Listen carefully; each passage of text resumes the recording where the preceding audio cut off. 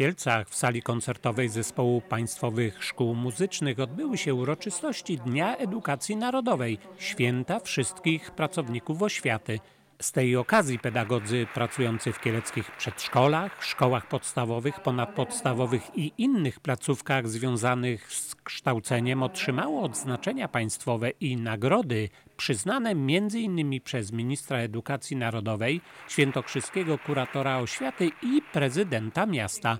Blisko stu nauczycielom prezydent Bogdan Wenta i przewodniczący Rady Miasta Kamil Suchański wręczyli nagrody pierwszego, drugiego i trzeciego stopnia. W ten sposób władze miasta podziękowały im za pracę, misję, która jest trudna i odpowiedzialna. Jest to misja, droga, którą obierają, aby dostarczać przyszłym pokoleniom najwyższej jakości kształcenie, edukację, bo tylko to stanowi o rozwoju kraju. To stanowi o przyszłych generacjach, o umiejętności podejmowania prawidłowych decyzji.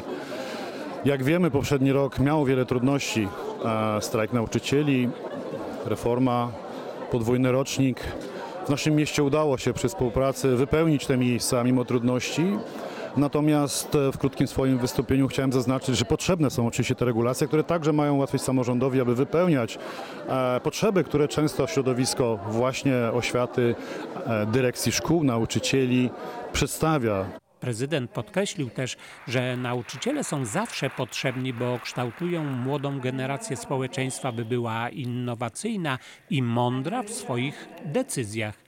Sami pedagodzy wielokrotnie podkreślali, że nie jest łatwo być dobrym nauczycielem, że przygotowanie do zajęć odbywa się często kosztem rodziny, osób bliskich, ale też poświęcony uczniom czas rekompensuje ich uśmiech, dobre słowo i życzliwość, a otrzymane nagrody, dzięki którym ciepło się robi koło serca, są podziękowaniem za wieloletnią pracę. No na pewno tak jest w rzeczywistości i przez te y, lata mojej pracy już często mogłam się o tym przekonać, że to tak faktycznie jest.